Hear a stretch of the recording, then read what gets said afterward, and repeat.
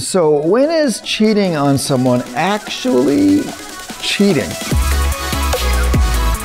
Hey, everybody, my name is Chris Paavola, and welcome to What Jesus Says About Where Jesus Speaks for Himself so you can respond for yourself. And don't forget to hit like and subscribe and that little bell so you can stay up to date on what Jesus says about topics important to you. So, okay, if you're married and you have sex with somebody who isn't your spouse, that's cheating. But if you're married and you kiss somebody else, is that cheating? Okay, okay, but what about if you're married and then you just kind of flirt with somebody else? Is that cheating? It's just flirting. Or flip it. Let's say you're married and your spouse calls an ex just to catch up and talk about things. Is, is that cheating? Now, surprisingly enough, what Jesus says about sex actually will help you define what is and isn't cheating. The word Jesus would use to describe cheating is this word adultery. And there's this one time where he's sitting with a group of people trying to describe and define this word adultery. And it seems like everyone who's listening to him is super proud and self righteous that they're not adulterers because they've never had sex with anyone who isn't their spouse. And so Jesus says to them, You've heard it said, Thou shalt not commit adultery.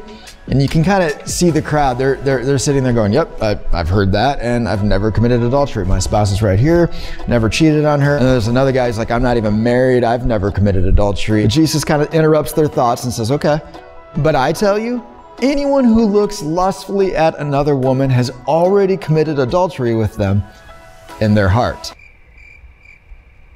Wait, what? And what Jesus is saying is adultery isn't so much about your actions, it's about your heart, and that really shouldn't surprise us. That's totally Jesus' MO. But Jesus throws this other word in there that helps define adultery and when cheating is cheating. It's this word lust.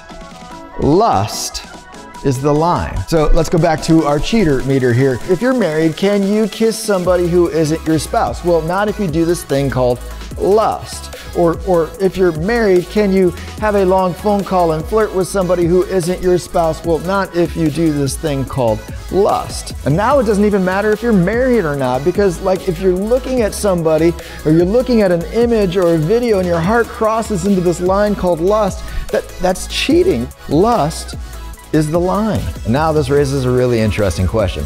How do you define lust? Like, like really, like take a moment and just think, how do you define lust? At first glance, I was like, oh, that's an easy word. But the more I think about it and like this lust of the heart thing, it's a really hard word to define. So I'd love to hear your definition. What is your definition of lust? Leave it in the comments section below. According to Jesus, when you take the time to define this word lust, you're taking a step towards healthier relationships.